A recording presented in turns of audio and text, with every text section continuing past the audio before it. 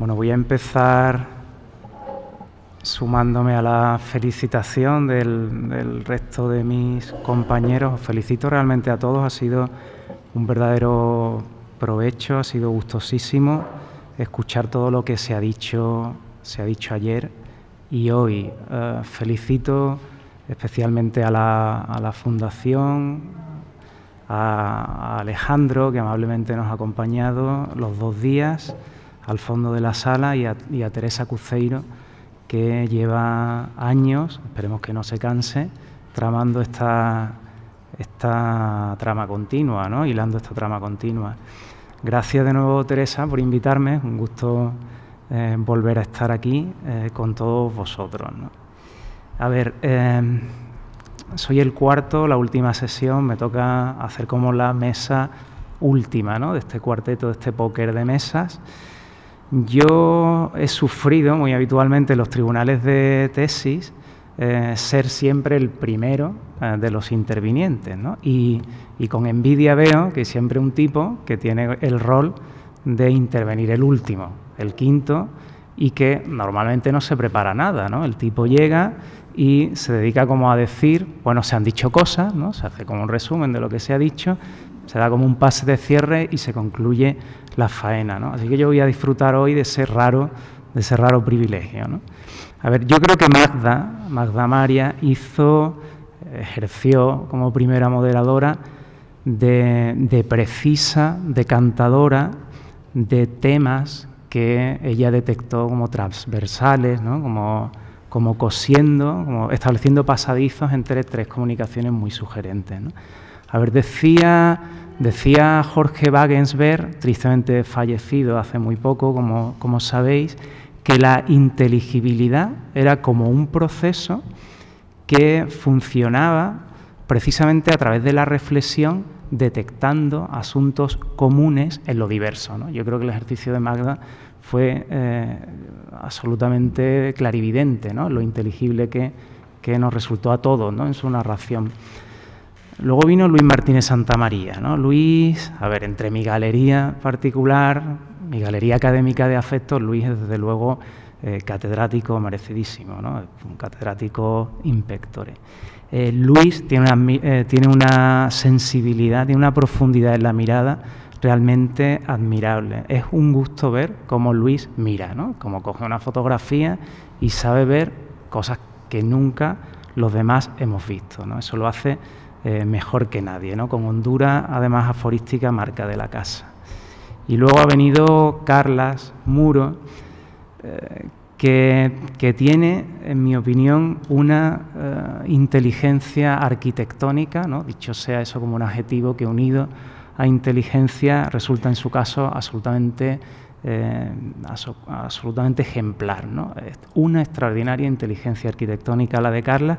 Es un modo de pensar en arquitecto que cada vez que dice algo, pues le hace a uno pensar. ¿no? Cuando Carla dice, a mí ese proyecto me interesa o tal proyecto me interesa más que otro, rápidamente uno pues, se va a su casa y reflexiona sobre por qué ha dicho eso Carla.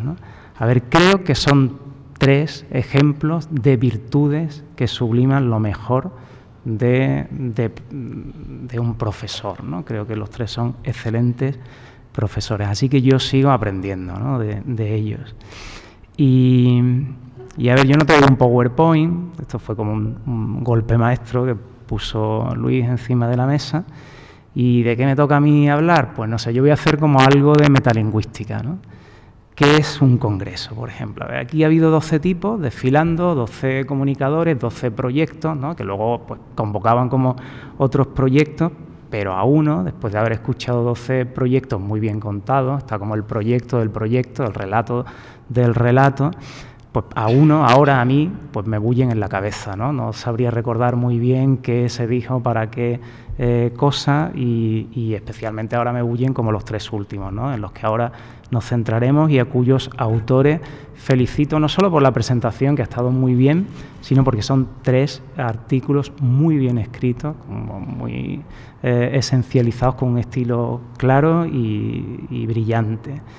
Eh, a ver, se dice que un traductor simultáneo es un tipo que, claro, está obligado por deformación profesional a retener muy poco, o sea, retiene lo preciso, vive como al día, ¿no? Porque, eh, claro, si se le quedan las cosas demasiado tiempo en la cabeza, pierde, pierde el hilo y entonces no le da tiempo a seguir transmitiendo ideas, ¿no? Y uno escucha aquí casi como un traductor simultáneo, pero intenta a su vez retener algo de lo que se ha dicho. ¿no? Claro, la traducción simultánea para nosotros está en que eh, a la vuelta a nuestro respectivo tablero, pues uno quiere como traducir todo lo que ha aprendido aquí.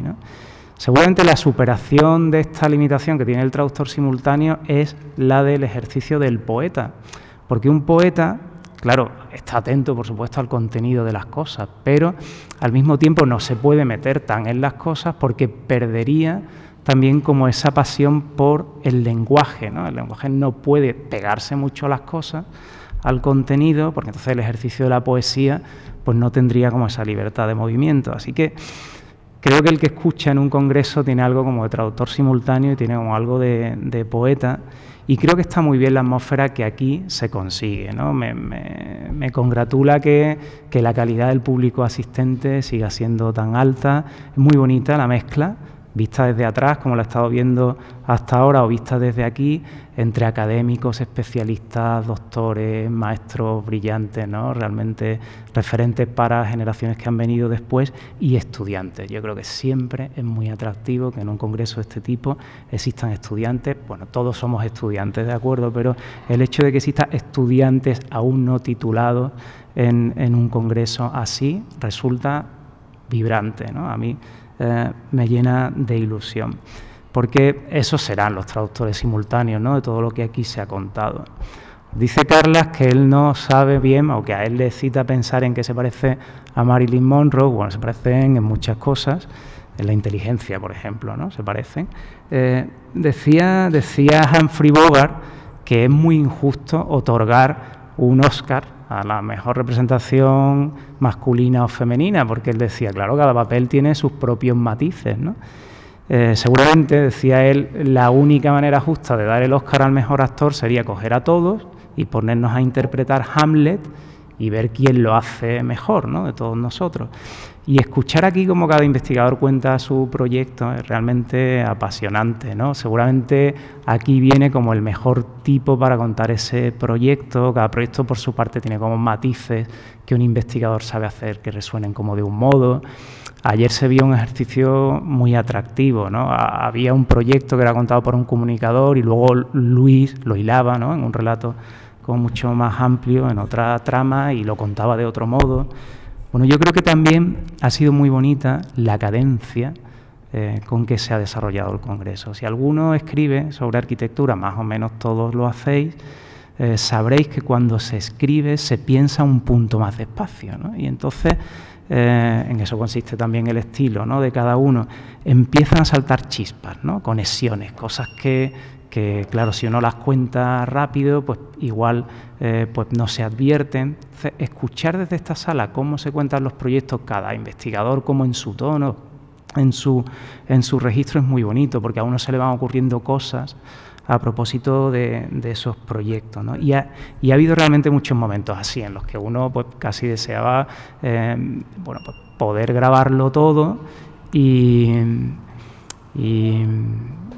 y no sé, cómo eh, empezar a propósito de ideas que aquí se vierten, como a escribir las suyas, ¿no? las suyas propias. También en este ejercicio de metalingüística me gustaría aludir a algo bueno, que a mí me apasiona siempre hacer.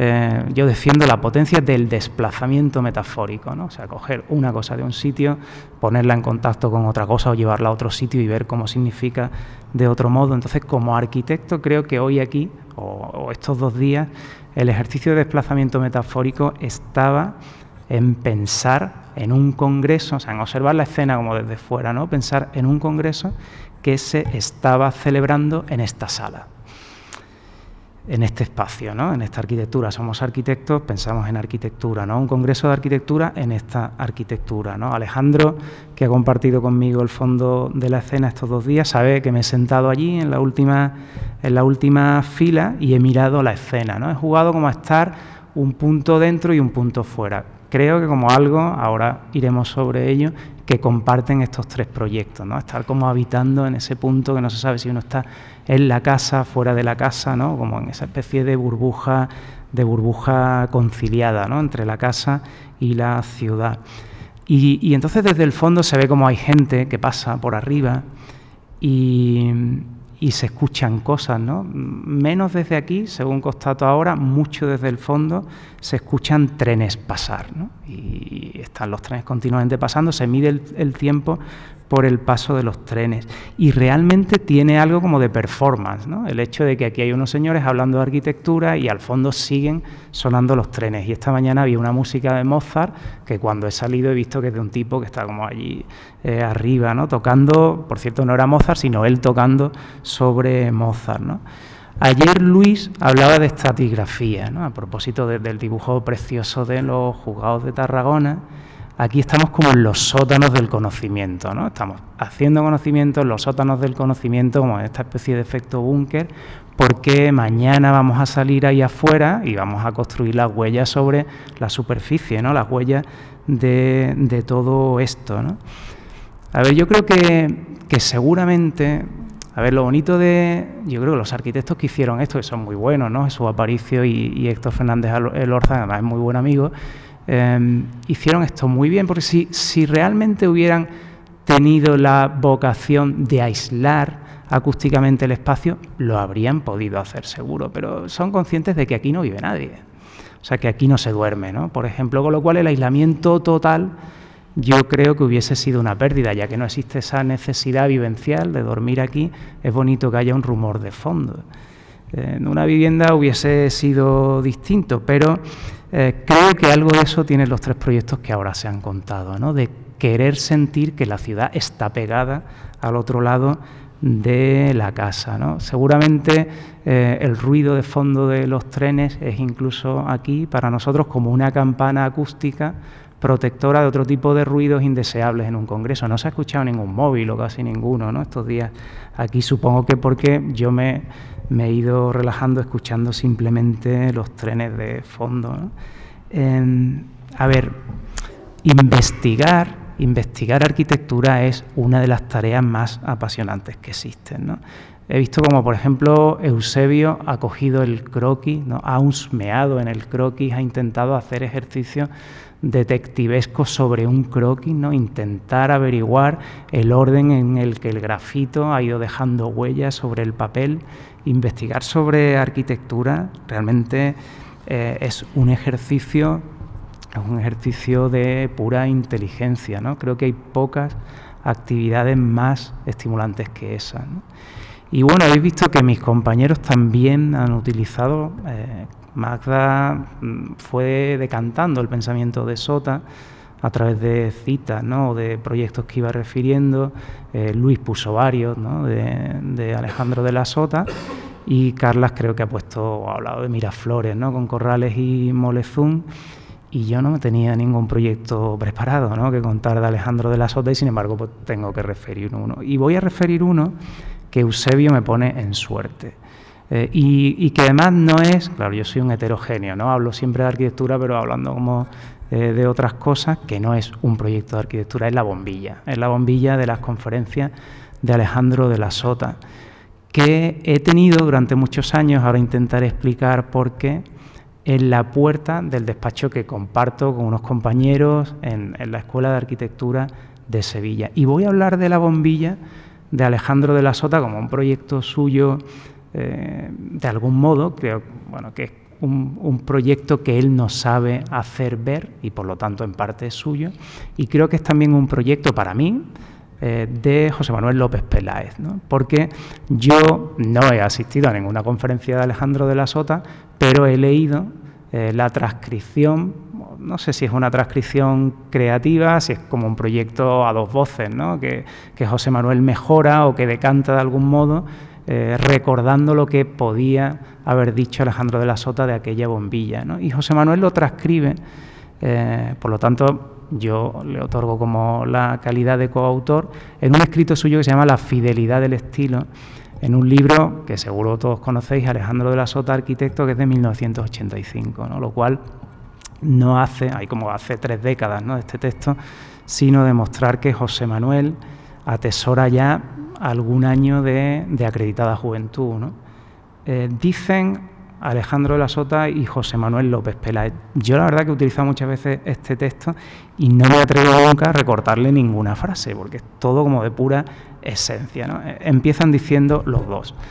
La imagen de la bombilla, bueno, al, principio hace José Manuel la contextualización, ¿no? Fue usada por Alejandro de la Sota para sugerir algunas cuestiones sobre su manera de entender la arquitectura. Verdaderamente la consideración de esa metáfora nos ofrece ciertas claves para acercarnos a su planteamiento. Y ahora empieza José Manuel como a, recomponer, que decía Alejandro de la Sota. Esta lámpara incandescente, recordarla de la diapositiva de Eusebio, evoca las fuentes de luz y calor y por lo tanto, eh, en definitiva, de vida, ¿no? fuente de vida. Implica también la referencia a un objeto tecnológico que tiene además una capacidad para transformar un hábito de comportamiento. La superficie envolvente de la bombilla, que es tersa al tacto, es una manifestación de una fuerza que viniera del interior, que paradójicamente está vacía. Y la forma precisa, su definición envolvente, expresa la necesidad de una perfección constructiva. Fijaos, están hablando José Manuel y Alejandro eh, por desplazamiento metafórico de lo que entiende Alejandro de la Sota por arquitectura y aquí, en definitiva, también se ha ido compartiendo casi entre todos. Siguen diciendo, su transparencia como valor imprescindible nos presenta un interior realizado con simplicidad. Los filamentos que flotan sobre un tejido o como un tejido etéreo manifiestan su condición de objeto liviano en contraste con su intensidad virtual.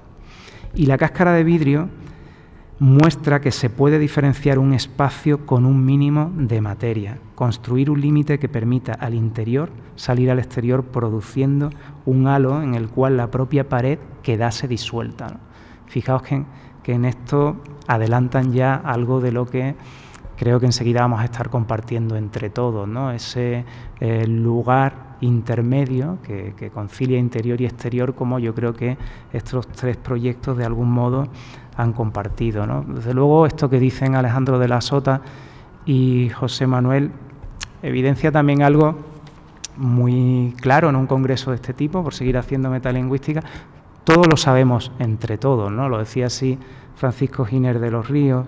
Eh, Borges decía que la historia de la literatura es como la historia de la declinación de las mismas metáforas, ¿no? Y Carla lo ha dicho esta mañana de un modo parecido. La, arquitectura es la historia de una serie de problemas compartidos. Entonces, fijaos que yo creo que la inteligencia, el punctum de que Alejandro de la Sota eligiese esta bombilla en sus conferencias es que aunque él no lo, no lo manifieste, yo creo que esa bombilla es como el trasunto transversal de lo mejor de la historia de la humanidad. En el fondo es el fuego, ¿no? Es como eh, la llama sagrada, pues no sé, que desde hace 3.000 años, con los rituales de, de, Héctor en la Iliada, nos vamos pasando de generación en generación, ¿no? La creación mejor es la que funde historias y lugares, y no sé, va de, de la antorcha que iluminaba los bisontes sobre la cueva de Altamira a los, no sé, la luz de los ángeles de Rilke, esta bombilla de Alejandro de la Sota o algunos proyectos que aquí se han, se han contado.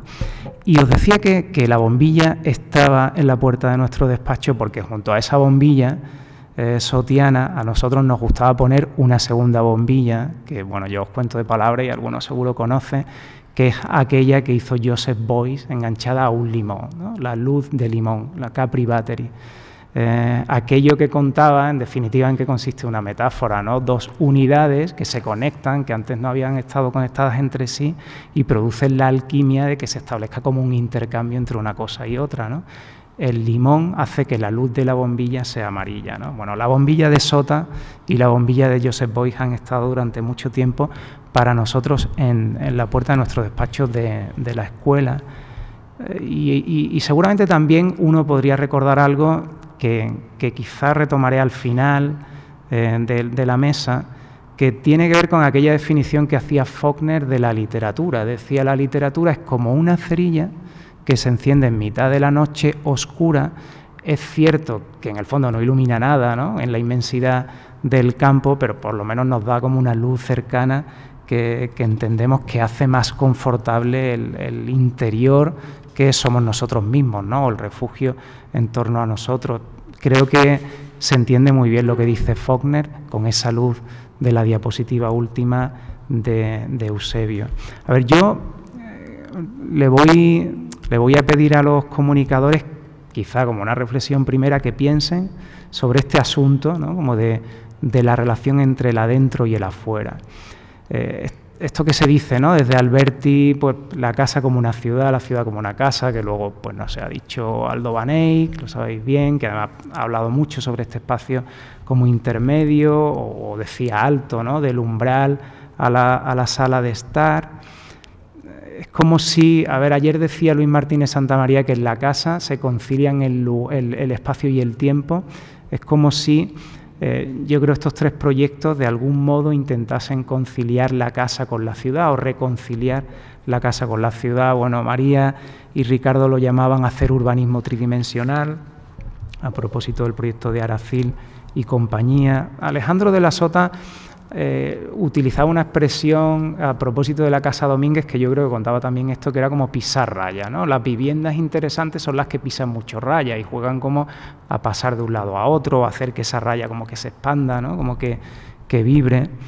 El, poeta y, traductor Ángel Crespo, también experto musicólogo, contaba una cosa a propósito de los espejos, ¿no? como una analogía con la creación musical que yo he ido recordando según ellos iban decantando estas tres presentaciones. Decía algo así Ángel Crespo, eh, Debussy, eh, el músico francés, eh, pintaba sobre el espejo, Igor Stravinsky pintaba detrás del espejo y Schoenberg pintaba en el marco del espejo. ¿no? Claro, Debussy era un tipo que pretendía reflejar, en cierto modo, como la música popular. Stravinsky era un moderno, ¿no? se situaba como adrede eh, detrás del espejo y Schoenberg era un tipo que pensaba en la estructura misma ¿no? de la creación musical. Creo que eso se ilustra bien en estos proyectos, ¿no? que aquí hemos visto eh, el punto casi como del efecto muralla, ¿no? de querer salir del proyecto o, de estar viviendo como fuera, pero al mismo tiempo dentro. Eusebio creo que hoy no ha utilizado esa expresión, pero la, la, incluye en su escrito y es una frase absolutamente eh, perfecta. Hay un punto como de prestidigitación, dice él, en el que, o un momento mágico en el que Alejandro de la Sota se da cuenta en el proceso de proyecto que, las cajas de los miradores no van a tocar el suelo. Ah, inicialmente no eran así, él lo va desgranando en su artículo. Y, ese momento, desde luego, hace que el, que el proyecto dé como el salto y, que, que, hoy sea recordado, desde luego, como una acción, eh, como una acción memorable. Bueno, sobre eso me gustaría que, pensaran ellos ahora y que entre cruzásemos seguro opiniones y la, y la otra historia que a mí también me gustaría lanzarle tiene que ver con esa paradoja de lo que es normal o no es normal, ¿no? que Eusebio también ha transitado. De nuevo, por hablar de música, en, Memorias de un amnésico, el libro de, con el libro de memoria ¿no? de Erisatier, la, la, célebre primera frase que tanto le apasiona a, a Enrique Vilamatas es yo me llamo Erisatier como todo el mundo. ¿no? Y, creo que esta historia de la normalidad seguramente sería como otro modo de enunciar, de, enunciar eh, lo humano, ¿no? es decir, eh, la necesidad humana de mirar, ¿no? por eso habla o se habla de normalidad, ¿no? Son normales porque son humanas. Luego eh, la convención irá por un sitio y la, y la posibilidad de optimizar una buena vivienda espacialmente o, de, o de, enriquecer eh, historias como por sedimentación, pues será otra, ¿no? Y en el fondo en eso eh, consiste, yo creo, el, el, proyecto del habitar, ¿no? Sobre lo que aquí también estamos hablando, ¿no? Loss decía, bueno, ¿cuál es la diferencia entre una casa y una obra de arte? Y tenía como ese texto tan bonito en el que contaba lo que una casa tiene que ser y lo que tiene que ser una obra de arte. Eh, yo creo que todo eso gravita sobre lo normal. ¿no? Lo normal, bueno, pues lo normal alude a tener un solar irregular y querer regularizarlo, ¿no? O lo normal alude a, intentar obtener mejores viviendas, como en el caso de Segovia, eh, incluso en situaciones de alta densidad. O lo normal alude a construir con la piedra que siempre se ha empleado en Salamanca. ¿no? Hay como muchas formas todavía creativas de seguir siendo normales. Y a mí eso me parece un tema que en el fondo desemboca en, como la frase central del siglo XX, ¿no? de mí, en la vivienda de nuestro tiempo aún no existe. Esa situación de normalidad en la vivienda la seguimos proyectando eh, todavía hoy, y de la normalidad casi trazamos el vector a la utopía. Eh, Ricardo y, María contemplan en su, en su comunicación esa, esa frase como lema del proyecto principio y fin de una utopía. Y, yo creo que eso es un pasaje realmente emocionante. ¿no? Todas estas arquitecturas, todos estos proyectos del habitar van como de la normalidad humana a la utopía de la buena arquitectura. Eh, hace poco daba yo con un cuento de Fabio Moravito, un, escritor eh, bueno, de lengua italiana, pero afincado en, México, que que bueno, parece escrito para un congreso que se llama el Proyecto del Habitar y para eh, bueno, lo que hemos venido pensando aquí, cuál es la posible definición de casa.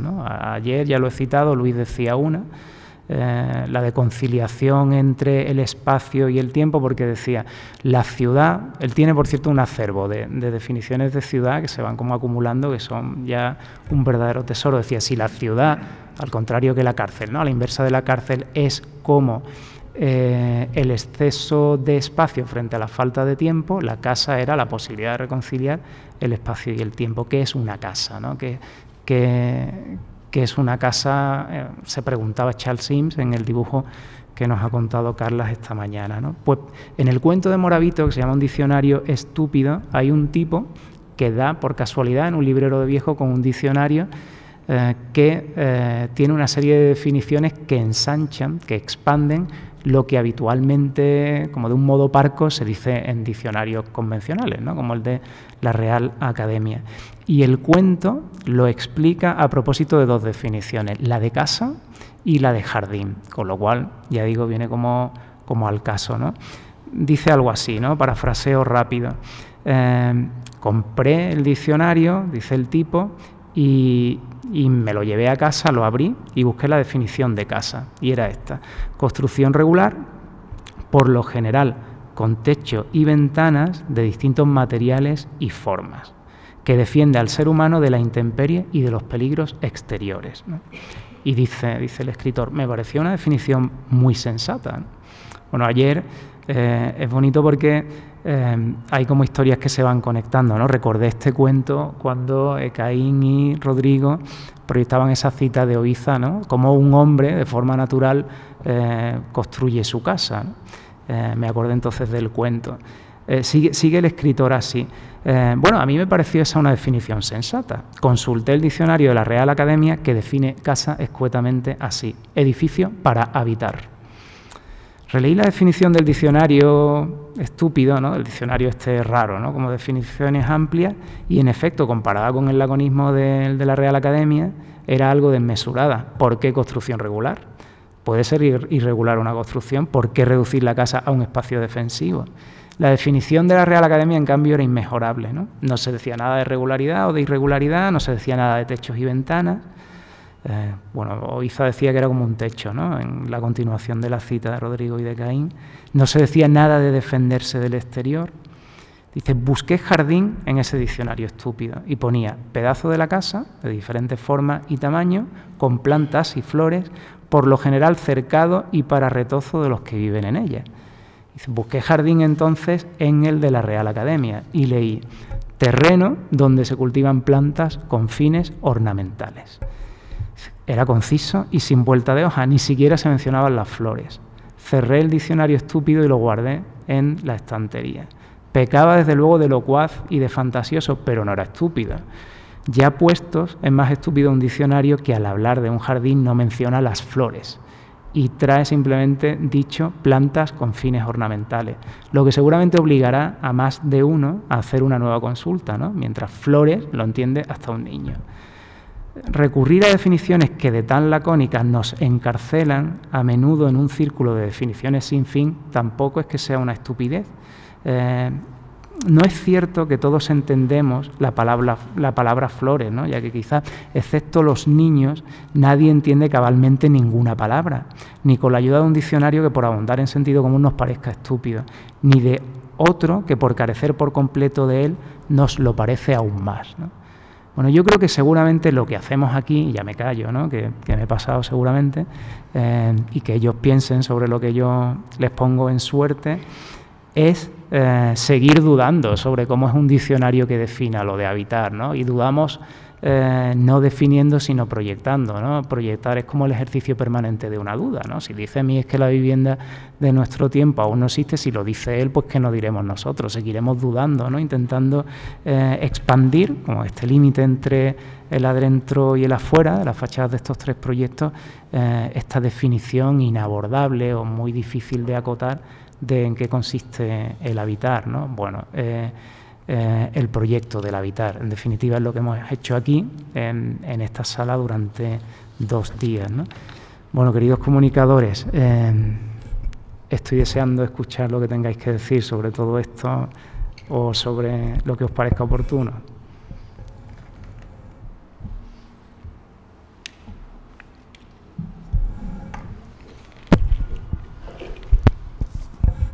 Bueno, esto eh, yo mm, hoy me siento en la feria de San Isidro. Esto te ha faltado bajar la mano porque te han puesto en suerte no sé qué cosas. Eh, al escribir se piensa más despacio, ¿no? Resonaba Morante, Paula. Eh, sí, yo eh, me sumo, que no he tenido todavía ocasión, a, los agradecimientos haciendo referencia a todos vosotros, sabiendo, eh, todos los que estamos aquí, que además de Alejandro y Teresa, pues nos habéis estado atendiendo muy amablemente y solícitos siempre, así que eh, nuestro agradecimiento, el de todos, para, todos vosotros. Eh, no logras evitar, Ángel, a pesar de ser el último, que pises ¿no? a, los siguientes, ¿no? Sigues oficiando de pisador, ¿no? Por ser el primero pisas, ¿no? Entonces eh, hay cosas que inevitablemente, pues, pues, quizás por sintonías eh, tenía, tenía eh, anotadas. Ayer efectivamente Luis terminaba sentenciando ¿no? que la única utopía era la casa. ¿no? Y, es fácil, eh, entiendo, suscribirlo. En, el caso nuestro, eh, la, frase que, a la que aludía María efectivamente corresponde al texto que escribe Aracil cuando la revista del colegio saca ese número dedicado a Segovia en el que presenta algún que otro proyecto suyo, no tan, no tan intenso, pero eh, con un texto que él titula Principio y fin eh, de una utopía. Y también eh, Eusebio mismo, y en algún otro momento ha aparecido esta grandeza que conlleva la amargura de haber soñado alguna vez con algo y haber mm, no haberlo conseguido, ¿no? que también se, ha dicho muy, eh, con mucha precisión y, tan sugerentemente.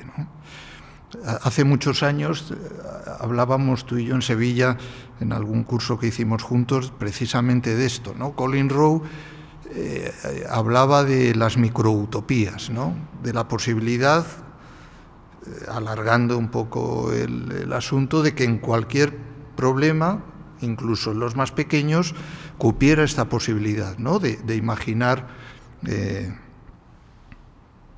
un mundo mejor, por pequeña que fuera la intervención, por pequeño que fuera el edificio, por pequeño que fuera el mirador, por pequeño que fuera cualquier cosa, siempre cabe imaginar, el arquitecto siempre tiene la posibilidad de, esa eh, pequeña utopía, si queréis. ¿no? Consiguientemente, y, reconozco mi debilidad y mi interés, yo creo que esta mañana, cuando aludía al, valor de la diferencia, al, interés que tiene mm, eh, resaltar lo que tienen de diferentes los arquitectos y sus edificios, pues venía a decir lo que sí hemos encontrado siempre en, el Taray, ¿no? la posibilidad de que esa utopía de alguna manera eh, fracase. Eh, es lógico que el autor, ¿no? muchas veces, pues con el mejor ánimo seguramente exagera ¿no? ese fracaso. Hoy vemos las viviendas del Taray y con todo nos parecen eh, hermosísimas. La, la, peripecia con el Marqués de Lozoya y los cambios eh, a que se ven obligados, pues como ha explicado muy bien María, de alguna manera hacen el proyecto mejor, así lo creemos, ¿no? Esa calle aérea tan insólita, con esas fachadas y esas cubiertas, en una ciudad como Segovia, etcétera, etcétera, pues hacen el proyecto eh, todavía mejor. Hace pues más de 25 años, en, la Bienal de Venecia, en el pabellón americano, había, me parece que en el año 91, había eh, entrando, a un lado quedaba Gehry, al otro quedaba Eastman, y explicaban eh, el auditorio Walt Disney de Los Ángeles uno, el otro los laboratorios aquellos, una profusión eh, de maquetas, una exhibición de musculaturas y el texto del catálogo de aquel pabellón americano eh, que escribió Moneo eh, decía que, a la vista de aquella exhibición, si me me cortas, ¿no? que para eso eres el moderador y somos amigos. Que a la vista de aquella musculatura, sabiendo que ya podíamos construir todo, y, no sé si estaría ya el Guggenheim en Bilbao, ya la, altura de las torres ya sería desmesurada en el aquel 91, puesto que ya podíamos construir todo, realmente lo que parecía que tenía más interés, lo que de alguna manera concitaba el interés de la arquitectura y de los arquitectos era cómo se producían las cosas, no tanto los resultados como eh, los procesos eh, eh, que habían utilizado, que habían originado. Yo siempre tengo aquello muy presente porque creo haber vivido, no sé si ya estos últimos años todo está un poco más en crisis, pero durante muchos años me ha parecido que efectivamente nuestro trabajo, eh, investigador si queréis, o incluso en, los tableros a los que te refieres, eh, se ocupaba más de cómo se producían las cosas, ¿no? que qué pasaba en una pequeña esquina de un croquis para pensar que de repente se había producido un salto importante y definitivo en, el proyecto. Yo creo que eso es lo que, eh, también extendiendo el, comentario a, otras intervenciones, a, la mayoría realmente de estos dos días, yo creo que, ese ha sido el interés, ¿no? En la medida que eh, de que nuestro tiempo y nuestros avances y nuestras investigaciones se alarguen y profundicen en las cosas, eh, em, empiezan a surgir muchas cosas más relacionadas a cómo se piensan las cosas, cómo se producen, que a los resultados últimos.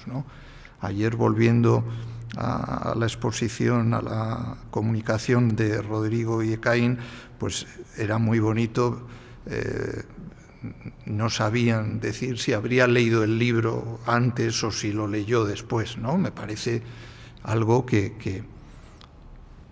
si pensamos en, qué medida puede haber afectado a la obra es determinante, seguramente, ¿no? Pero esa misma indecisión, pues al proyecto y a alguien como, como no sé dónde estáis, sí, pues a alguien como Iza, tan contradictorio y tan complejo, pues realmente le venía bien, ¿no? Este, esa duda.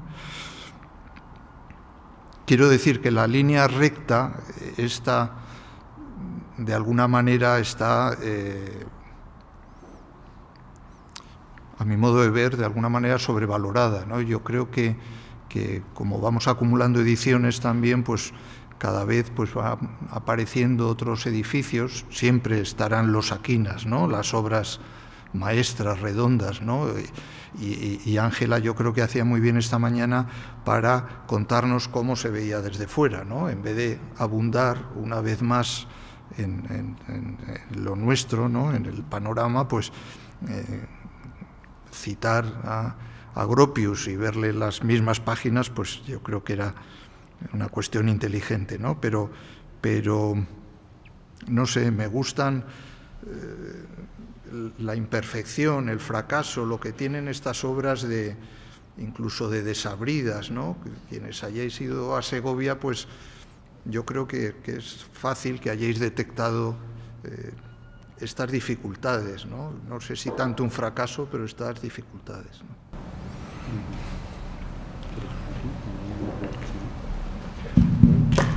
Sí. sí, yo quería comentar al hilo de, de, esas definiciones de, la casa, ¿no? Eh, claro, la, definición está toda, sobre todo la que leías de defensa y protección, eh, no... Es curioso que insista en eso y no lo, en lo que realmente los arquitectos piensan cuando tienen que hacer la casa, como hemos estado viendo en el análisis de los diferentes proyectos. Es decir, se da por supuesto lo de la se da, por supuesto lo de la necesidad de protección, pero lo fundamental es cómo crear eh, protocolos de relación y protocolos de encuentro. Es decir, las calles que veíamos en el Taray están, no, no, se obsesionan con el tema de la protección, esa ya te viene dada. ¿no? Es curioso que la definición que encontremos en el diccionario sea que la casa sea para protegernos y no nos dice nada de cómo, eh, o, no nos señala cómo en definitiva nuestro problema es generar lugares de encuentro, mecanismos de...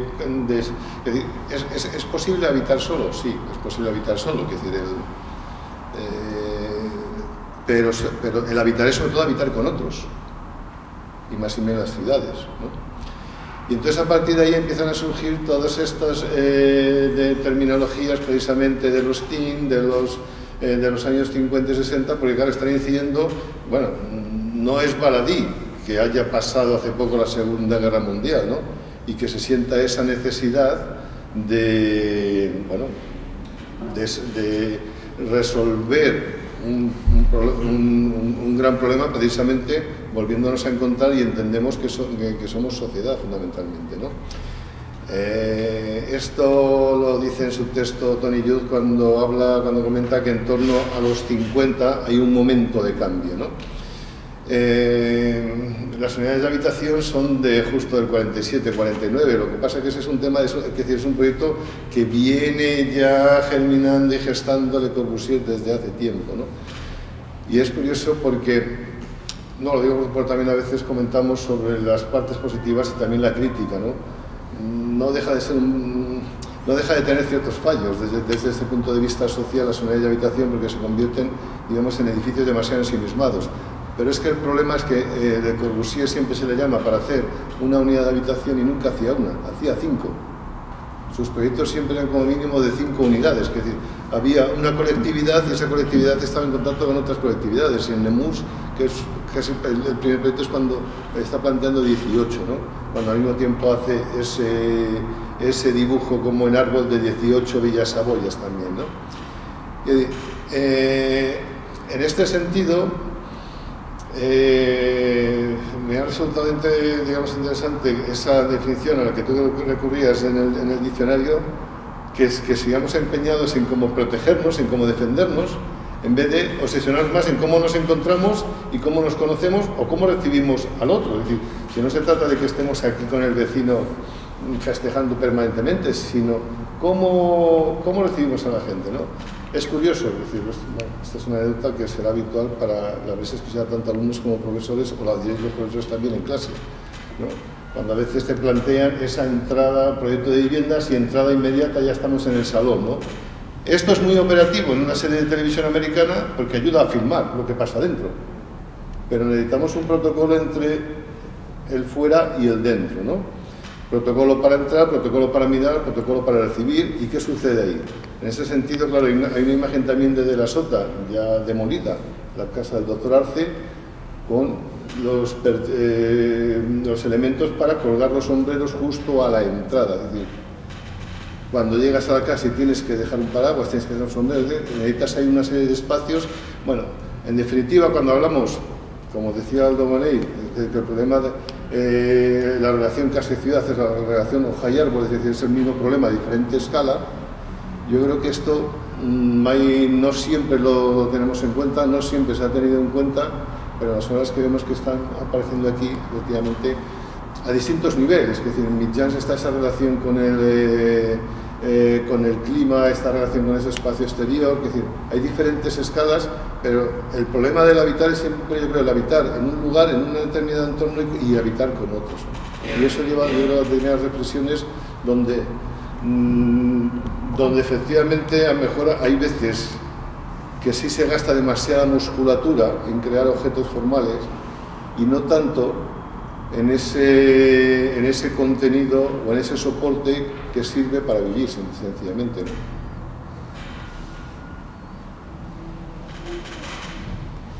Bueno, yo quería comentar, hay un arquitecto italiano que se llama Luigi Cosenza, muy poco conocido, es, digamos, el exponente de la arquitectura moderna más importante de Nápoles, del sur de Italia, que digamos es el, complemento a figuras como Terragni, Figini Pollini, ¿no? en, digamos, en una lógica transversal de, la, península, la parte del sur es la menos conocida.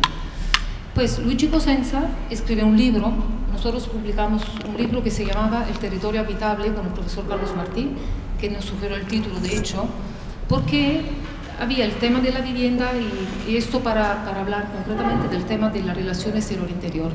Él escribió un libro que se llama Historia de la habitación, Historia de la vivienda, que se basa en una teoría y es, el hombre empezó su evolución en la prehistoria cuando dejó de vivir afuera, es decir, cuando dejó de entender que la base de su civilización estaba en entender la naturaleza y mantener esta relación con el exterior.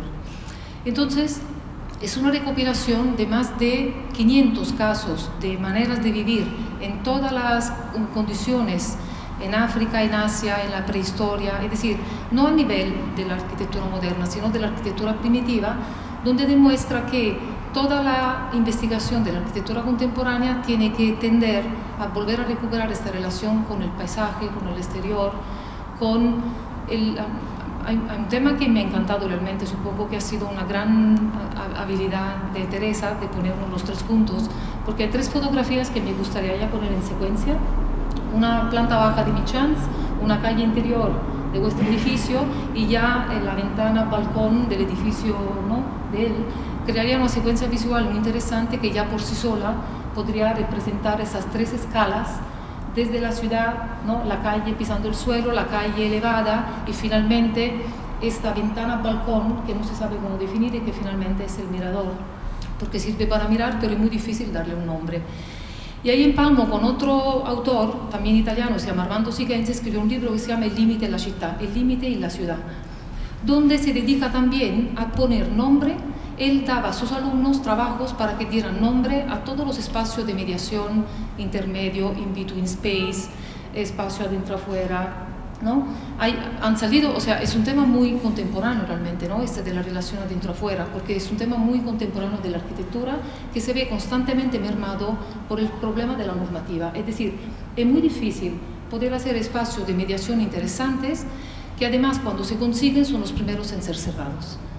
Esto pasa, lo que comentaba de la tienda del local en planta baja, ¿Cuántas veces ha pasado que edificios interesantes los vamos a ver y resulta que lo han tapiado, le han cambiado, han recuperado metros cuadrados rascando, ¿no? ¿Cuántas veces porticados en planta baja quedan tapiados porque así se recupera espacio interior? Es decir, son los espacios que parecen ser grandes protagonistas, pero son más frágiles porque al final son los que, ¿no? Se, recuperan de otra manera para conseguir metros cuadrados. Y entonces este ejercicio de dar nombres a los espacios y encontrar el sinfín de matices de todos estos elementos que nos sirven a distintas escalas de definir la arquitectura, yo creo que es un tema muy apasionante porque realmente nos sirve para hablar desde la ciudad hasta el interior y de cómo de afuera adentro, de adentro afuera, acabamos viviendo en estas casas que al final son las, como decía Michans, donde cada uno tiene que sentirse en su casa. ¿no? Sentirse en casa significa estar cómodo, sentirte como en una condición de habitabilidad y de, de comodidad ¿no? que te hace sentir que es el lugar donde piensas estar.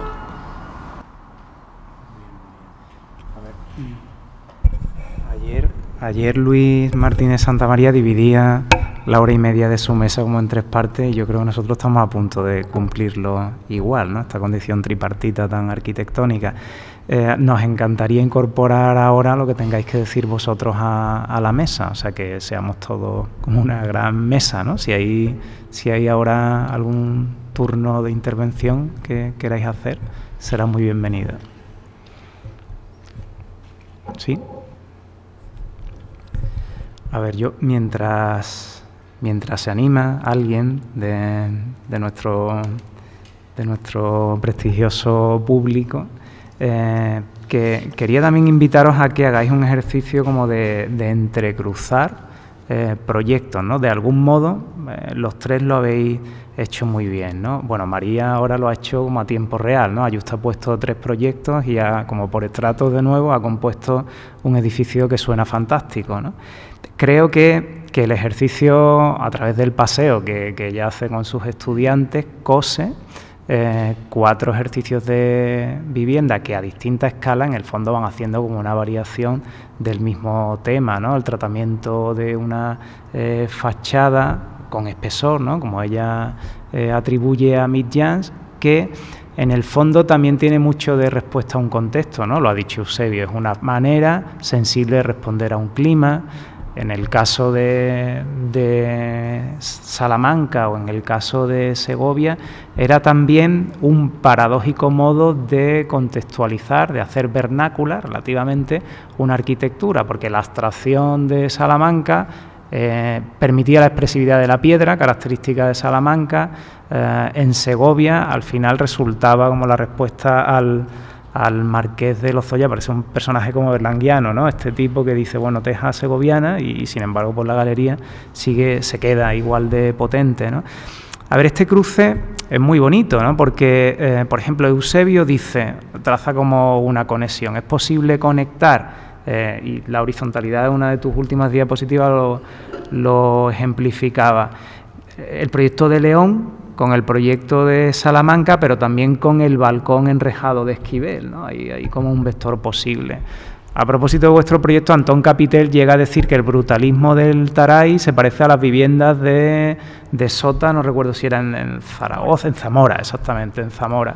Eh, este tipo reconoce en el vídeo que ellos se han ido en los años 50 a, ver los proyectos de vivienda social inglesa y que han ido a ver a Le Corbu y que incluso piensan cómo se puede perfeccionar el modelo de Le Corbu. hay un modo muy bonito de establecer lazos hacia atrás, hacia los lados, hacia arriba, ¿no? en vertical y en horizontal, que me parece muy sugerente. Ninguno de los proyectos que habéis contado, y yo creo que vuestras tres comunicaciones los ejemplifican, viene nunca solo, ninguno es una isla, saben ramificarse como en, muchas vías. ¿no? También ha sido eh, vuestra virtud como de intérprete mm, clarificarlo así. ¿no?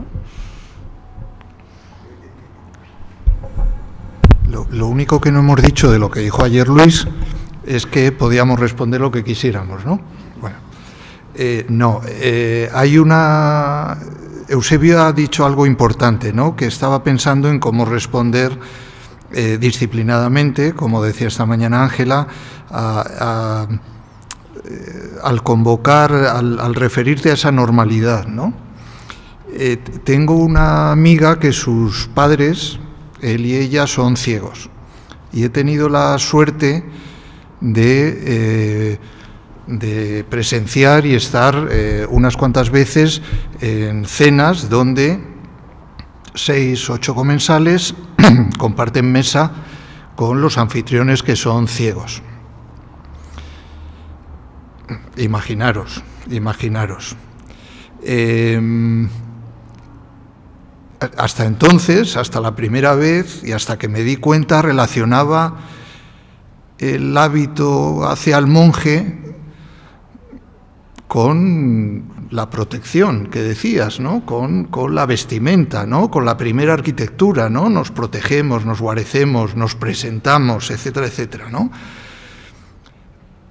Entendí cenando con estos señores que el habitar que la casa es más eh, Carlas y los Sims, ¿no? que, que el hábito, los gestos repetidos, que también se ha dicho esta mañana, la repetición del gesto es el que hace al monje, que realmente a lo largo de 24 horas repite un día y otro día eh, su trabajo en la huerta o sus rezos, lo que sea. ¿no? Es verdad, es verdad. No sé si contradice lo que la casa puede tener de utopía, pero la entiendo mejor ligada al, al bailar, al eh, hacer el indio, al proyectar sobre una pared una peliculita. ¿no? Yo creo que, que esa es la normalidad las viviendas son normales, claro, claro que son normales, ¿no? No pueden ser de otra manera, incluso ciegos, ¿no?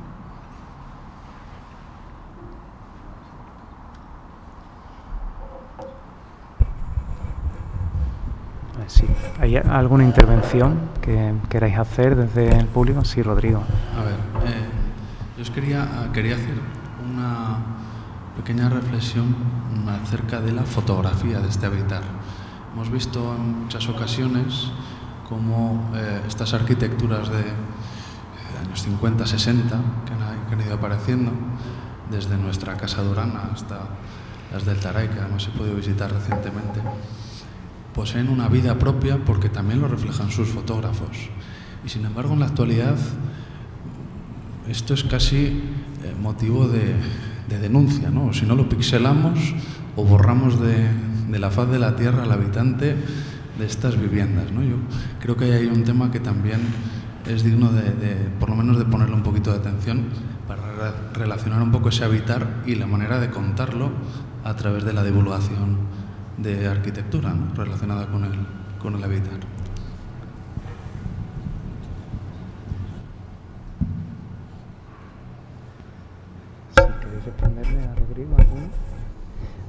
Ha habido un momento muy, muy curioso cuando Eusebio leía la cita de De la Sota a propósito del mirador.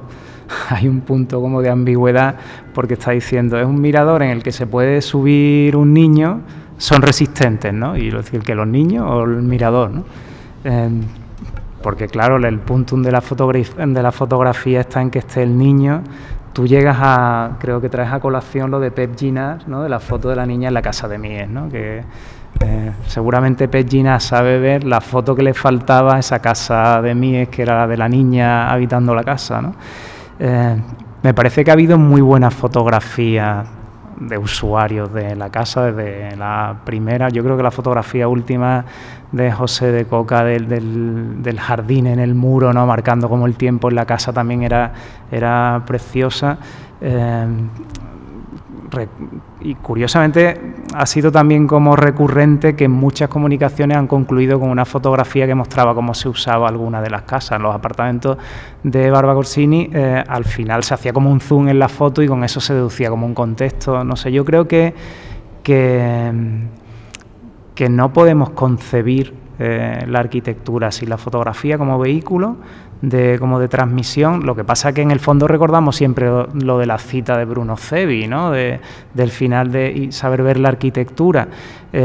ningún método de representación de la arquitectura es completo por sí mismo y al final dice él, y esa será la hora de la arquitectura, claro, porque uno tiene que ir a ver esas obras, ¿no? Él hacía como una enumeración pues no sé, de Brunelleschi hasta Le Corbusier, y, esa será la hora de la arquitectura, precisamente por lo incompleto de cualquier sistema de representación.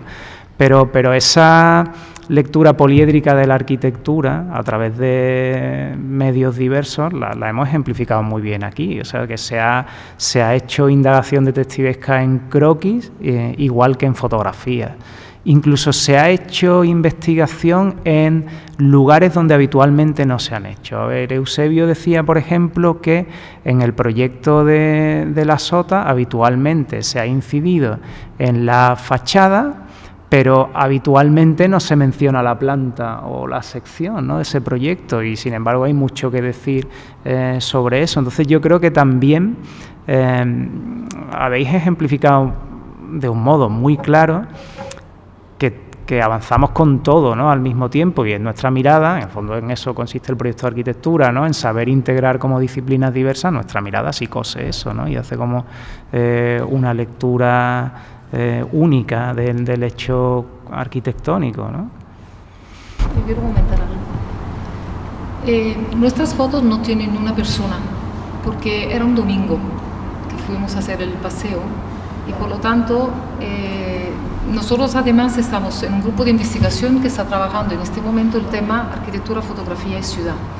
Entonces está clarísimo, y yo creo que lo, lo que has comentado es, es, se generan dos grandes vertientes como el tema racionalismo, organicismo o fotografía con persona, fotografía sin, ¿no? con, con o sin.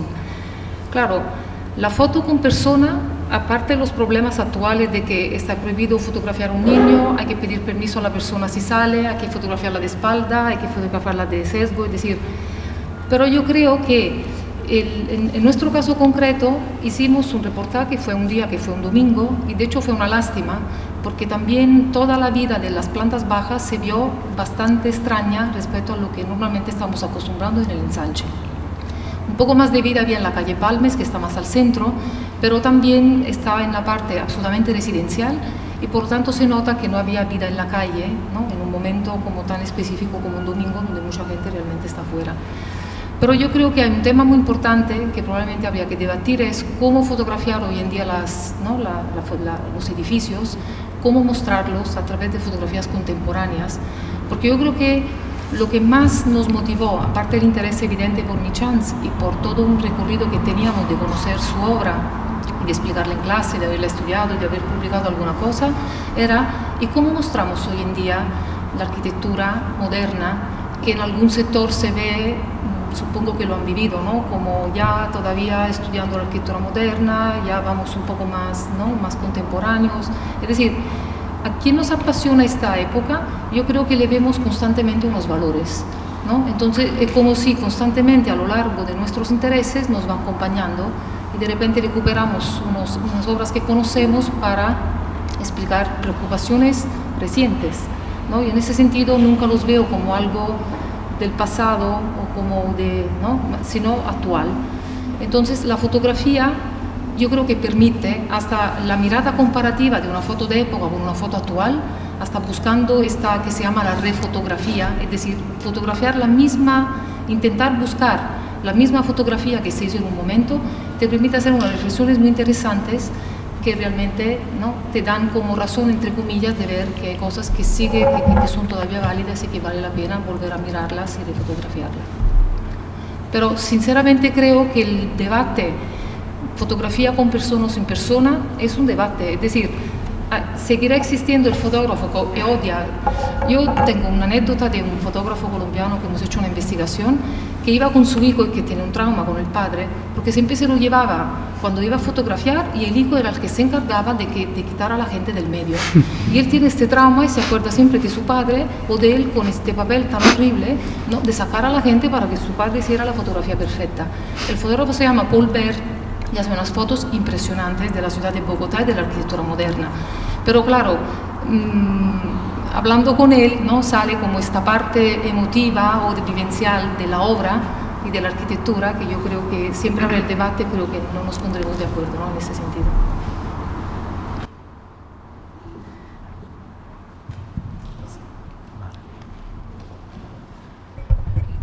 No sé, me, llama la atención el crédito que damos lo que dicen los arquitectos sobre sus obras. Eh, esto de las casas son normales, yo creo que no son nada normales. Las casas no son normales, la, casa de, de, la calle Prior no es nada normal. Es una casa llena de, de inventos, el mirador es un invento con esa Warwick eh, de guillotina metida en, en el mirador, con con ese sistema de oscurecimiento a la inversa, que es el antepecho el que sube hacia arriba para oscurecer el mirador, con este niño eh, flotando en el, en el, mirador, que es una cosa, es decir, lo normal, que es la norma, que es lo habitual, es justamente lo que la obra de arte eh, rompe, deshace. Y yo creo que en muchas de las casas que hemos visto, lo que eh, apreciamos, lo que valoramos, es precisamente esos mecanismos, esos inventos que el artista hace para conseguir que la vivienda sea eh, más habitable, sea más atractiva. Los, cuartos de baño compartidos de, laquinas con un invento de, eh, de, una placa turca que sirve de ducha, que eh, conecta dos habitaciones en opuesto, cualquiera de las, o los muebles móviles de, corrales en, en su casa, cuando miramos todas estas viviendas y prescindimos más de lo que los arquitectos han dicho de ellas, seguramente para negar lo que han dicho, eh, es cuando yo creo que empezamos a descubrir mejor los valores que tienen.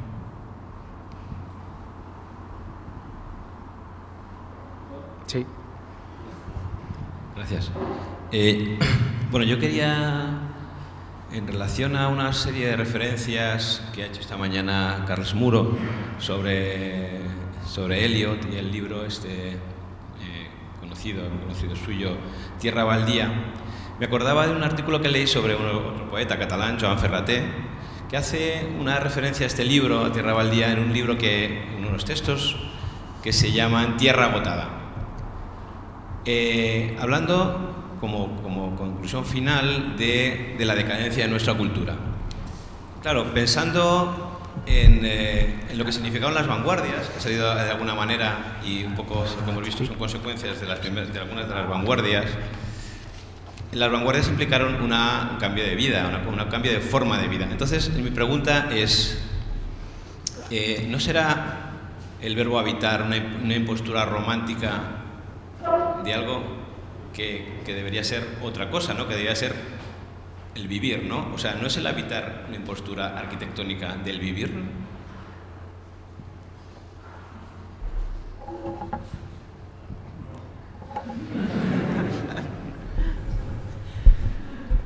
Vale, bueno, eh, muchas gracias a José Manuel y a Carlos por, por sus comentarios. Eh, bueno, Carlos le ha dado formato de pregunta, pero José Manuel lo ha dejado felizmente más abierto. Carlos, cuando hagas una pregunta así, abre luego y, ponle punto suspensivo al interrogante porque si no cae a plomo. Eh, bueno, ¿alguno de vosotros se atreve con José Manuel o Carlos? ¿Sí? o María, que ha dicho. Me estoy muy bien, sí. Sí, bueno, a, los, a ver, eh, un poco al hilo de, yo creo que dos, dos interrogantes eh, más que pertinentes. Eh, claro, yo en mi intervención y, a ver, mm, había pensado en, empezar incluso mi intervención con algo que como parecía excesivo, digo, pues eso lo dejo para después.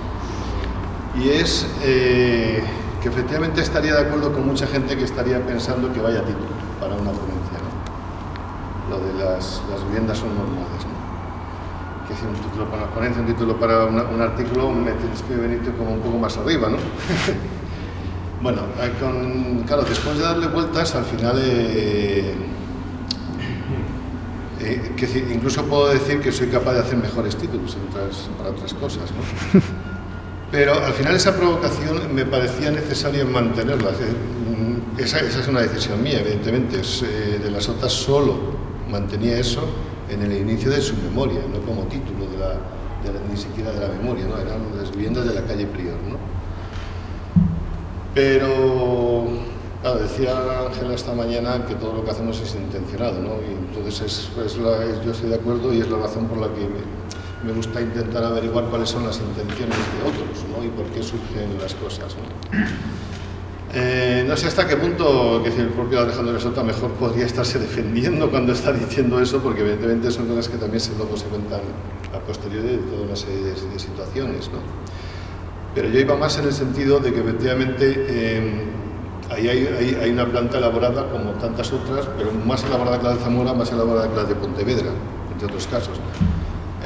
En la misma elaboración que las de las viviendas del gobierno civil de Tarragona, que también tienen doble entrada con la pieza de salón justo en el medio de las tres bandas que suele acabar pivotando las ventanas deslizantes. Eh, Y efectivamente eh, es un invento por todas esas razones, porque es que lleva toda la intensidad del proyecto va cargada ahí. Bueno, claro, va cargada ahí, que decir, la elaboración de la propia planta, ya lo hemos visto, eh, tiene su intensidad. Pero digamos que podíamos entender que la articulación del, del, espacio pues forma parte de algo que en ese momento se dominaba mucho más que ahora, que estamos asumiendo organizaciones de viviendas pues, con bastante mayor planitud, por así decirlo. Eh, mm, recuerdo una cita de Sisa a propósito de, cuando él estaba en Berlín, hablando de las viviendas berlinesas que le entusiasmaron porque eh, son muy profundas ¿no? y frente que empezó a manejar el movimiento moderno, parte por los croquis que hemos visto y por la justificación de salubridad y demás, los espacios empezaban a hacer mucho, mucho más planos. Aquella profundidad de los espacios eh, flamencos o no el propio Las Meninas, con una profundidad de campo que es ilimitada, eh, eh, puede estar en viviendas que son más profundas y donde puedes dar alternativas a recorridos, entrar y salir por un sitio y por otro, evidentemente aporta una mayor riqueza. Pero cuando antes comentabas, Miguel, eh, lo de mm, las, viviendas son normales, eh, había, ahí había dos lecturas, o sea, hay, dos lecturas a hacer, ¿no? La de que no hay ninguna invención y la de que son... hay, hay, dos... No, no, sobre todo el tema que dije que, yo sí que colocar en el texto de que las plantas están poco publicadas.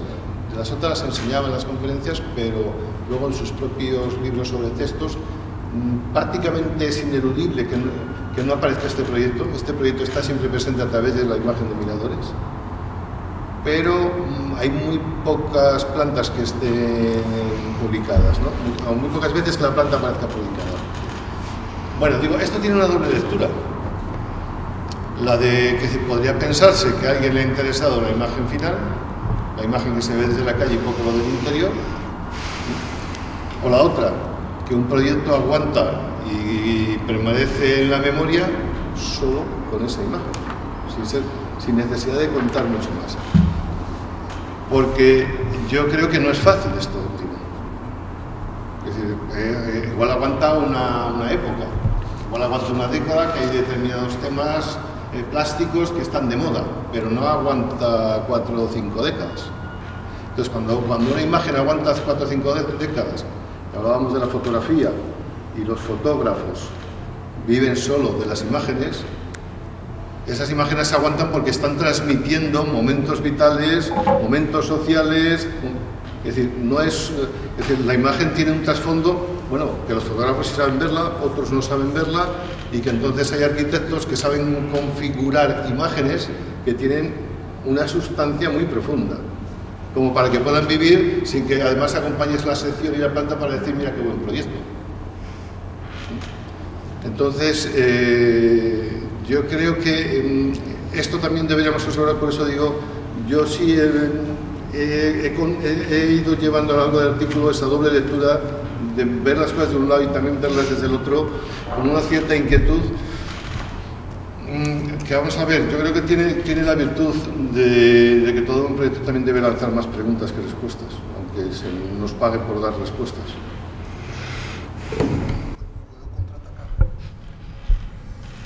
A mí me extraña, Carlos, la pregunta, habiendo, eh, habéis tenido la amabilidad ni de tenerme en vuestra casa alguna vez.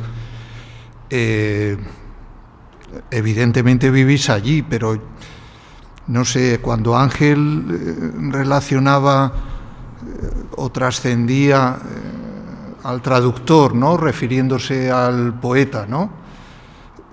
Cuando Foucault distingue entre el loco y el poeta, yo creo que es fácil que identifiquemos el arte o la arquitectura como algo que va un paso más allá, ¿no?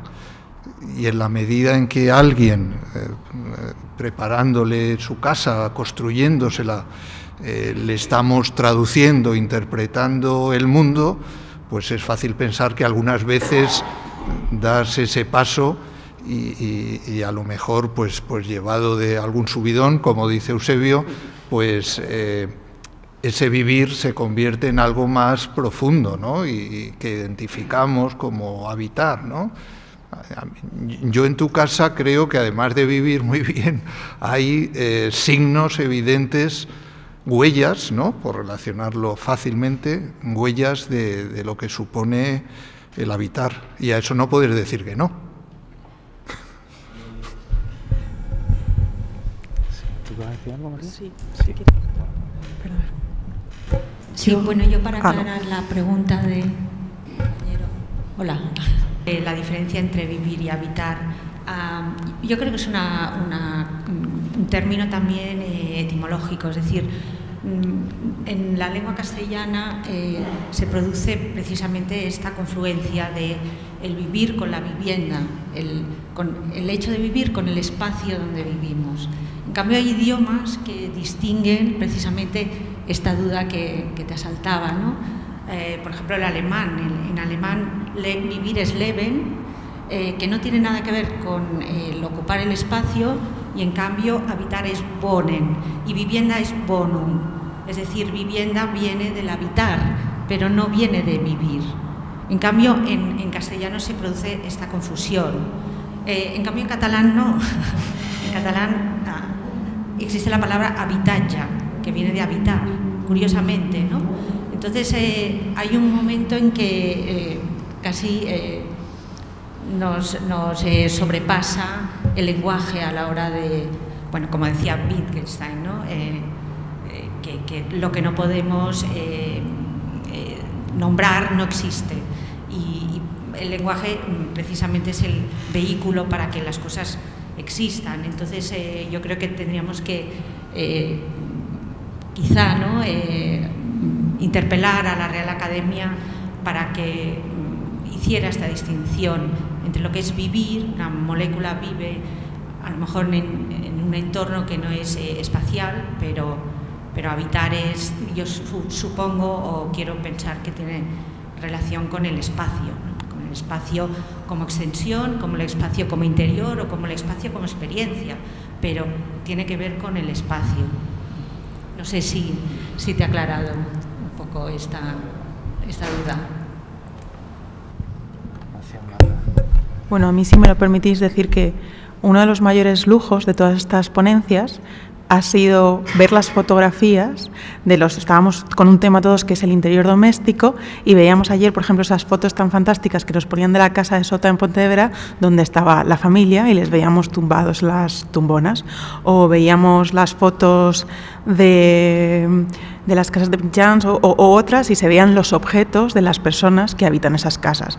Y salió a colación un par de veces ayer la cita de Oiza cuando hablabais de Durana de que no es solo la casa, o que Oiz había hecho la casa y que dejaba a los habitantes esa responsabilidad de acabarla con los objetos que conformaban su día a día y que al final es el, habitar. Yo creo que una de las cosas, por ejemplo, más bonitas que se veían hoy de la foto que ponía Eusebio del mirador desde dentro es la acumulación de cosas que tenían los habitantes y que de alguna forma estaban modificando la mirada desde el interior a este espacio porque venía velada por todos estos objetos. Y una de las fotos más bonitas del Taray era la foto de las galerías donde de repente aparecen los geranios y no hay gente. Pero al final podemos prescindir de ellos porque tenemos la huella de todos esos objetos que nos están hablando más de un espacio, no solo de un espacio arquitectónico, sino de cómo se están estableciendo las relaciones en esos espacios. O sea, nadie pondría ahora un geranio en la calle. Y sin embargo, qué maravillosas las viviendas del Taray, que tienen esa doble cualidad la calle, que, podemos leer que qué es eso, que es un espacio compartido entre la vivienda y la ciudad, porque alguien puede pasar libremente, pero a la vez alguien se siente libre de poner su geranio ahí y saben que no le va a pasar nada. Entonces yo creo que quizás esa dualidad que decía Carlos, en todas esas fotografías la hemos visto gracias precisamente a todo ese atrezo de la vida que llevamos cuando vamos a, a un sitio. A ver, eh, bueno... Sí, hay una última pregunta. Vale, son dos preguntas y, vamos a concluir la mesa por, cuestiones de tiempo, eh, que no por porque lo queramos así, vaya, imperativos de, la hora. ¿Sí? Sí, hay dos preguntas, Carlos y, el chico del fondo, sí. Eh, sobre lo de las viviendas son normales. Eh, yo ayer eh, decía un poco lo que acaba de decir José Manuel también, eso de que que las palabras de los arquitectos hay que tomarlas con, una cierta distancia, ¿no? Entonces, mm, lo que voy a decir igual es una banalidad. O sea, yo entiendo que las viviendas son normales, en el sentido de que don Alejandro conocía perfectamente que en aquel momento pues, eh, se habían hecho muchos eh, experimentos con las plantas de las viviendas, eh, las mismas que vosotros habéis contado, el ejemplo de, las unidades de habitación, en fin, y tantas cosas, ¿no? las medias plantas, las plantas... Y en ese sentido, pues las viviendas esas eran normales, efectivamente. ¿Qué, más se puede decir para explicarlo, no?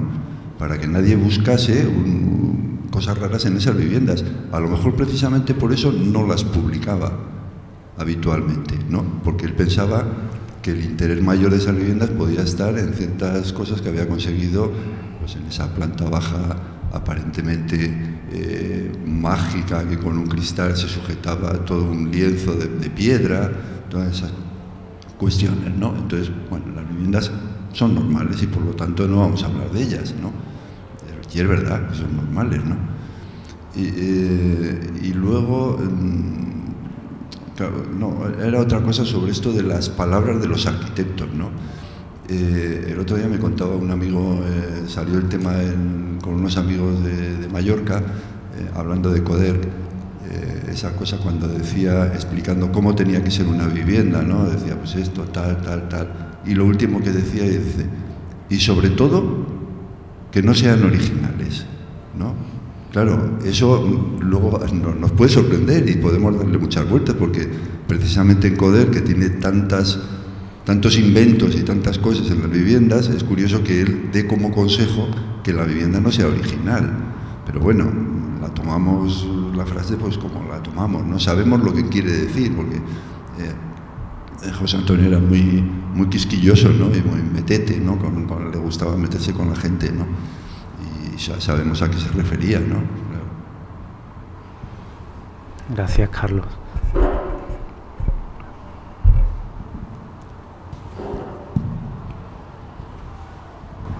Eh, bueno, yo quería hacer una, un recuerdo de, igual que tenemos el rumor de la calle y del metro, un poco traer el exterior a, este búnker, como decía Ángel. Y, es un pequeño recuerdo de, todos estos temas que estamos tratando acerca del habitar, que, son los que nos interesan de verdad, ¿no? esas cosas peculiares o, únicas de las que habla José Manuel, eh, la planta baja esta planta baja maravillosa, abierta, las Street in the Air. Bueno, pues eh, simplemente quería hacer la puntualización de que ahora mismo en Londres se está demoliendo Robin Hood Gardens. Eh, hace poco eh, pasó lo mismo con la casa Woodman.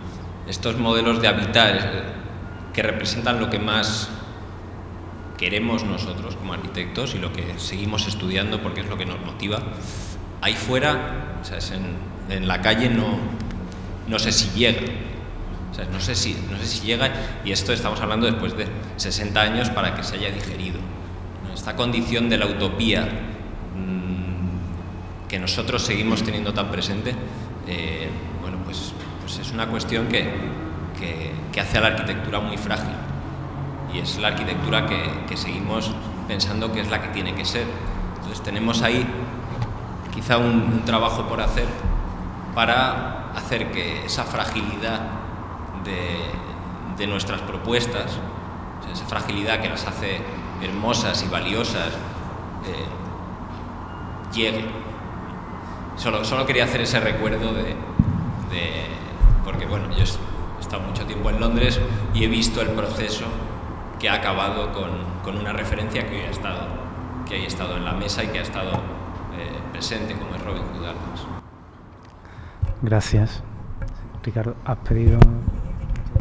Sí, eh, para no terminar muy pesimistas, eh, hay que ir a ver el Taray. después de 60 años, como dice María, las calles aéreas, smithsonianas, le corbusierianas, etcétera, etcétera, eh, eh, tienen geranios. La dignidad con la que están resistiendo unas viviendas que se construyeron con cuatro pesetas, donde las mujeres de los cooperativistas eh, pintaban a mano los bloques con una gama de colores que debía asemejarse a la, piedra segoviana, eh, es emocionante. Hay, hay veces que, que, no sale tan mal. A ver, em, claro, no vamos a concluir pesimistas, desde luego. Eh, hay, algo bonito en, lo que bueno lo que tú has dicho desde luego Ricardo y en la reivindicación que tú haces. A ver eh, vamos a reivindicar todo pues lo estamos haciendo aquí no el proyecto eh, del habitar se puede hacer a lo grande o sea se puede llevar un fragmento de tres plantas del edificio de los Smithson a la Bienal de Venecia ¿no? que ahora se inaugura eh, nosotros lo estamos haciendo quizás desde la modestia académica, desde este búnker, y lo estaremos haciendo sobre la superficie mañana mismo. El, verso de Borges que dice un hombre que cultiva su jardín, como quería Voltaire, está salvando, está salvando el mundo. Yo voy a concluir con una acción eh, así como de lirismo docente eh, que, vengo poniendo en práctica con mi hija. seguramente es como un consuelo mío, ¿no? como calmante, por haber abandonado cierta, cierta práctica arquitectónica convencional y concentrarme como en mi burbuja investigadora. ¿no? Entonces, como me gusta relacionar ideas con acciones, pues eh, la utilizo a ella para hacer este tipo de cosas. ¿no? Entonces, hace un tiempo pensé que estaría bien si eh, yo le daba un dinero eh, a cambio, bueno, ella lo utiliza para lo que quiera, pero le daba un dinero a cambio de que se aprendiese una poesía. ¿no? Y así, con esa acción simbólica, pues yo me convertía como en una especie de mecenas ¿no? de la poesía. No, hombre, no era mecenas subvencionando a sus amigos Virgilio y Horacio, pero yo estoy salvando la poesía, ¿no? Le doy un euro a mi niña y mi niña se aprende una poesía. Y ella salva esa poesía. Vosotros, los que habéis hecho comunicaciones de estos proyectos, algunos demolidos o o digamos tergiversado por alguna mala intervención, como aquí ya se ha citado, sois como los portadores de esa arquitectura, no es como Fahrenheit 451, estáis salvando esa arquitectura y así eh, lo habéis contado. ¿no? Pues claro, yo soy el editor, eh, Ricardo es muy buen editor y aquí hay también algún otro editor, yo soy, me doy el lujo de decir qué poesía salvo, yo soy el editor que salva esa poesía, ¿no? Y, vosotros igual que vosotros elegís vuestro tema. ¿no? Entonces, eh, hace poco la última eh, que me parecía digna de ser salvada era precisamente la de los justos de Borges, ¿no? Entonces ella se la aprende, yo me la aprendo con ella, un hombre que cultiva su jardín, como quería Voltaire, está salvando el mundo, el que agradece que en la tierra haya música, el que descubre con placer una etimología, eh, dos empleados que en un café del sur juegan un silencioso ajedrez, el ceramista que premedita un color y una forma, el tipógrafo que compone bien esta página que tal vez no le agrada, una mujer y un hombre que leen los tercetos finales de cierto canto, el que acaricia a un animal dormido, el que justifica o quiere justificar un mal que le han hecho, el que agradece que en la tierra haya Stevenson, el que prefiere que otros tengan razón, esas personas que se ignoran están salvando el mundo. Ese es el poema, ella tan contenta con un euro, pues supongo que se lo cambia, ¿no? Cambiar la poesía por algo, también es como muy poético, por estampitas de Santoro, por lo que quiera que ella haga con eso, pero fijaos, son acciones normales, las del poema de Borges, ¿no? Esa normalidad profundamente humana. La arquitectura es también la posibilidad anónima, sencilla, supernormal, en el fondo pues se mueve materia de un sitio para otro, de hacer como, no sé, encender una bombilla, es súper normal, pero ya habéis visto en la cita de, de la Sota y, y, de José Manuel López Peláez que se transforma un hábito de comportamiento, la cerilla que se enciende en mitad de la noche, que decía Faulkner, también transforma, ¿no? Un hombre que cultiva su jardín, desde luego está salvando el mundo, mi hija y yo estamos salvando la poesía o estamos salvando el mundo. A ver, que no se entere María Kodama, que seguro que nos monta un cisco, ¿no? Por esto, ya lo sufre mi amigo Agustín Fernández Mayo.